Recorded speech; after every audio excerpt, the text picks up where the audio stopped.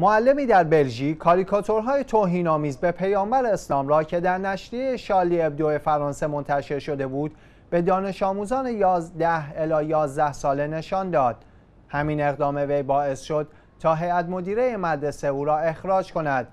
روزنامه لالیبر لالیبر بلژیک خبر این اتفاق را که در منطقه ملونبک رخ داده تایید کرده و خبرگزاری فرانسه هم به نقل از سخنگوی منطقه آن را منتشر کرد.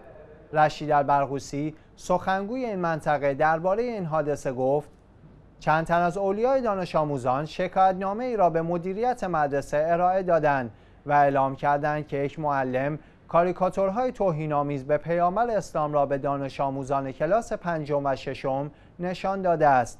مدیر مدرسه در جریان این کار قرار گرفت و به اعضای شورای شهر هم اطلاع رسانی شد. به سخنان معلم متهم گوش داده شد و در نهایت او مقصر اعلام و اخراج گشت